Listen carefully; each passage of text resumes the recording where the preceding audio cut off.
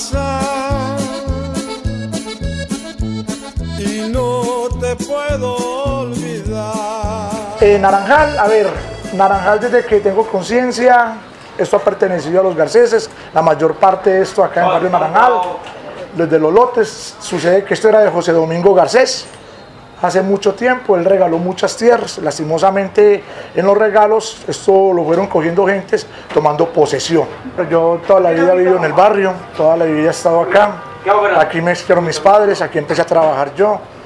Eh, nosotros aquí llevamos más de 70 años, pues, prácticamente mi papá vio aquí 55 años, aquí murieron en este mismo sector.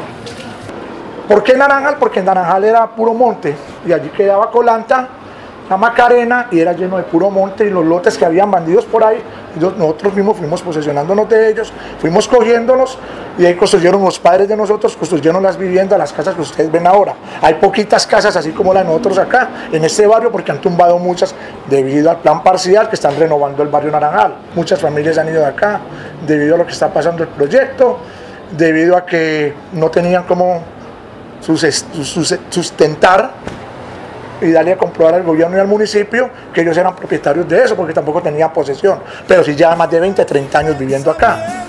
Constante, mi amor. Y aunque trato de olvidarte, cada día te... Llegué a una pieza, pagar una pieza, pagaba 150 pesos, ¿no le parece? Ahí al frente construí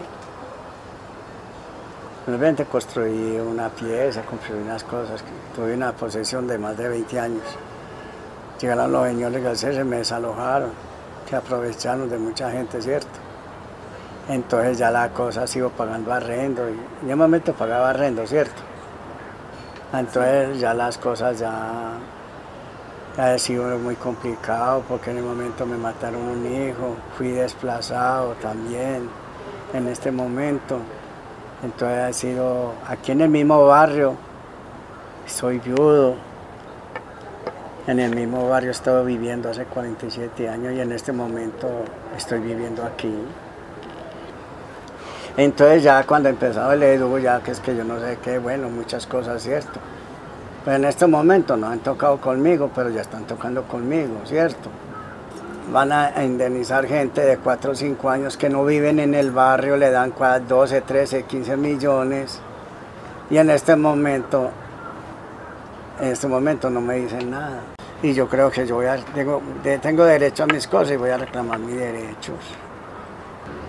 No me gusta darle vuelta al barrio porque no me gusta, no me gustan las amistades, no me gusta nada, soy muy solo y por donde quiera ando solo. Pero para mí el mejor barrio que ha sido Medellín es este barrio, para mí sí.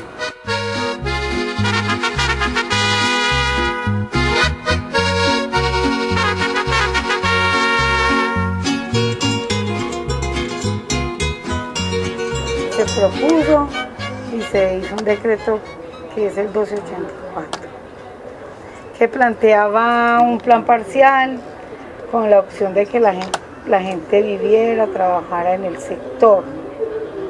En el año exactamente 2009, 2010, ya, ya llega la EDU, empieza a hacer una serie de reuniones en el sector con los líderes, entre comillas, legalizados por ellos.